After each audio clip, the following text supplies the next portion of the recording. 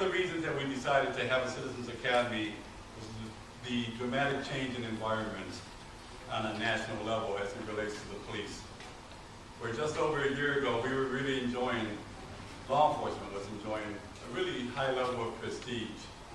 Crime had dropped throughout the whole country, there was a lot of community policing going on, and it just seemed like there was just a, really a great time to be in law enforcement. But all of a sudden it changed, and it changed quickly. It was unprecedented, it was unexpected, and it happened because of a few highly publicized incidents that happened in the country, and it really had an effect on police-community relations. That was really the impetus for us having Citizens Academy. Much of it is due to miscommunications and also misunderstandings. We are determined that that's not going to happen here in Lorain. We're, going to, we're determined that every neighborhood and every person that lives in the city is going to have a relationship with our police officers and understand that we're not only here as enforcers, but we value them and we're here to serve them and we're here to protect them.